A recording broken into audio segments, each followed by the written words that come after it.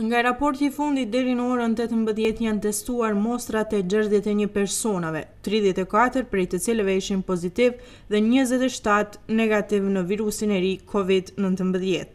Nga 34 rastet e konfirmuara që nga raporti i fundit, 21 janë shtruar në spital, por pa komplikime, në gjendje të përgjithshme të qëndrueshme, ndërsa 13 kanë një pasqyrë klinike më të lehtë dhe janë në kushte shtëpiake.